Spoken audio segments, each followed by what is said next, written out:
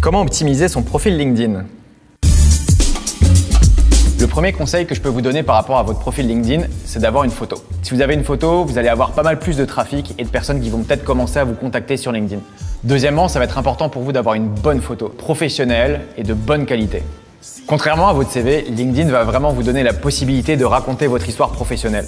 N'hésitez pas à inclure des éléments sur qu'est-ce qui vous a amené dans tel domaine d'activité, où est-ce que vous voyez évoluer dans votre carrière, parler de choses qui vous passionnent d'un point de vue professionnel. LinkedIn, c'est vraiment la bonne plateforme pour ça.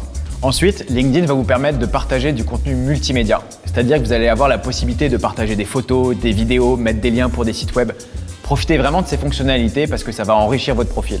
Un dernier conseil pour optimiser votre profil LinkedIn, c'est de mettre de l'avant votre expertise spécifique. Les employeurs vont souvent chercher des profils de spécialistes. Et pour ça, ils vont utiliser des mots-clés de recherche. Pensez à les mettre dans votre profil. Voilà, tout est dit.